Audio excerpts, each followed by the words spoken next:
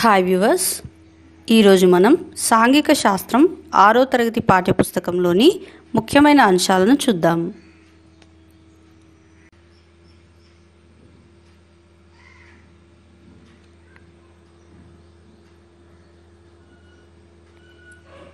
భూస్వరూపాలు మూడు రకాలు. అవి పర్వతాలు పీఠభూములు మైదానాలు. పర్వతాలు అత్యధిక ఎత్తులను వాలులను కలిగి వాటిపైన అతి తక్కువ సమ ఉపరితలంను కలిగి ఉంటాయి.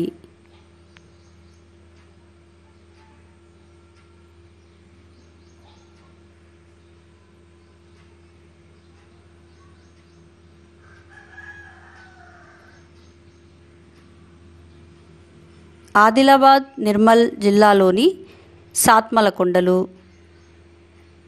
మహబూబ్నగర్ నాగర్ కర్నూల్ జిల్లాలలో బాలఘాట్ కొండలు. వికారాబాద్ జిల్లాలో అనంతగిరి కొండలు. పెద్దపల్లి జయశంకర్ జిల్లాలో కందికల్ కొండలు మరియు జగిత్యాల జిల్లాలో రాఖీ కొండలు కలవు.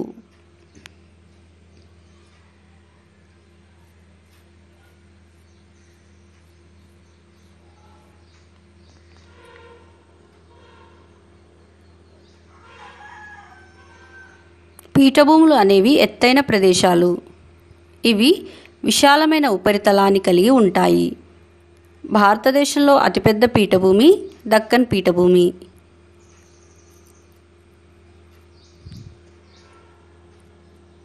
తెలంగాణలోని అధిక ప్రాంతం దక్కన్ పీఠభూమిలో ఉండుట వలన ఈ ప్రాంతాన్ని తెలంగాణ పీఠభూమి అంటారు.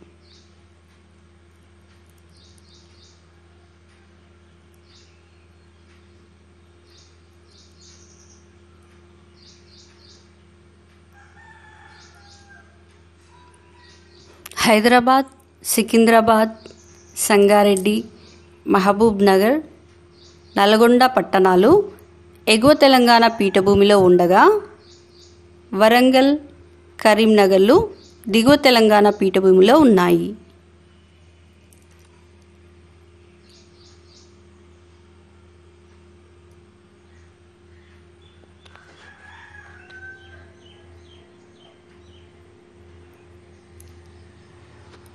మైదానాలు సున్నితమైన వాలు కలిగిన సమతల విశాల ప్రాంతాలని కలిగి ఉంటాయి. నదులు మేట వేసిన ఒండ్రుతో ఈ ప్రాంతాలు ఏర్పడతాయి.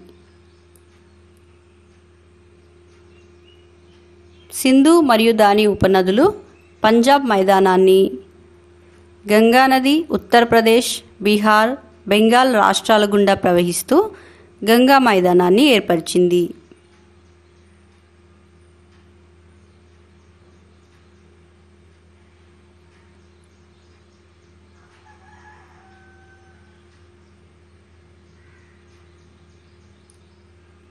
కృష్ణా గోదావరి నదులు పశ్చిమ కనుమల నుంచి ప్రవహిస్తున్నాయి. గోదావరి నది నిర్మల్ జిల్లా బాసర వద్ద మన రాష్ట్రంలోకి ప్రవేశిస్తుంది. ఈ రెండు నదులు చివరకు బంగాళాఖాతంలో కలిసిపోతాయి.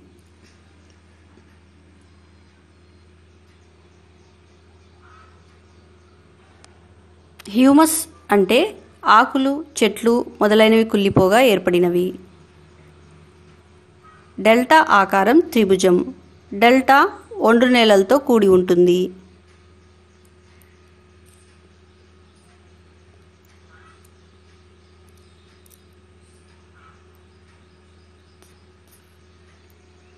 కృష్ణానది ఉత్తర ఒడ్డున విజయవాడ నగరం ఉంది. పద్దెనిమిది వందల యాభై మూడులో బ్రిటిష్ వారు విజయవాడ దగ్గర కృష్ణానదిపై ప్రకాశం బ్యారేజ్ను నిర్మించారు.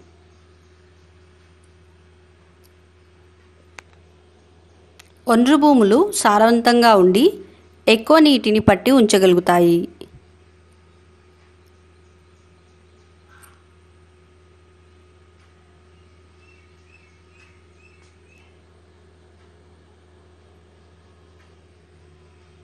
నల్లరేగడి భూములు వర్షాకాలంలో ఎంతో జిగురుగా ఉండి చాలా కాలం వరకు తేమను పోగొట్టుకోకుండా ఉంటాయి. ఇవి ఆరిపోయినప్పుడు భూమి ఉపరితలం మీద పగుళ్ళు ఏర్పడతాయి. ఈ పగులు వల్ల భూ ఉపరితలం పైనున్న మట్టి రాలి పగుళ్ళలో చేరుతుంది. దీన్నే సెల్ఫ్ ప్లఫింగ్ అంటారు.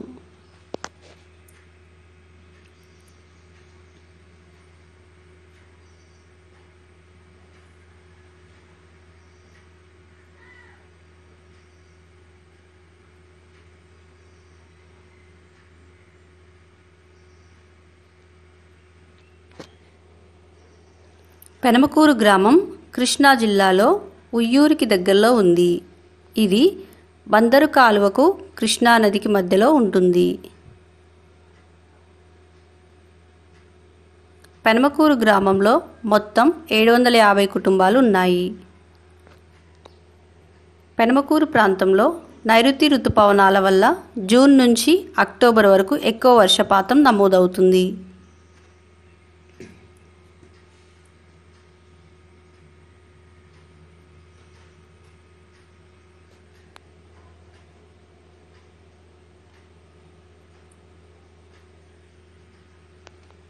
పెనమకూరు గ్రామం కృష్ణానదికి దగ్గరలో ఉండటం వల్ల పదిహేను నుంచి ఇరవై ఐదు అడుగుల లోతు వరకు తవ్వగానే నీరు వస్తుంది.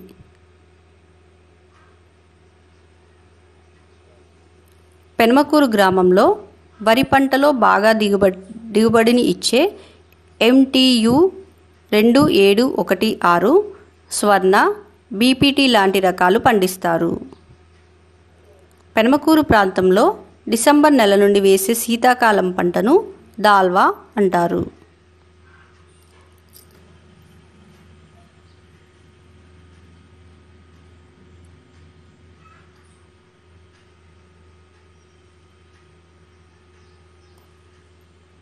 పెనమకూరు ప్రాంతంలో మెట్ట భూములలో పసుపు కంద అరటి పంటలను పండిస్తారు. పెనమకూరు ప్రాంతంలోని రైతులు చెరుకు పంటను ఉయ్యూరులోని పంచదార మిల్లుకు సరఫరా చేస్తారు.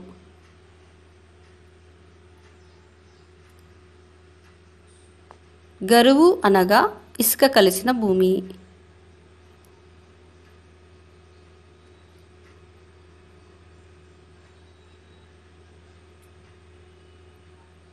నదులు నిక్షిప్తం చేసిన నేలలను ఒండ్రు నేలలు అంటారు.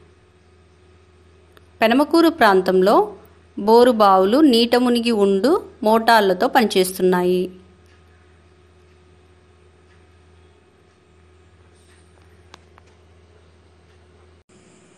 Thank you for watching my videos if you like my videos please subscribe my YouTube channel and share them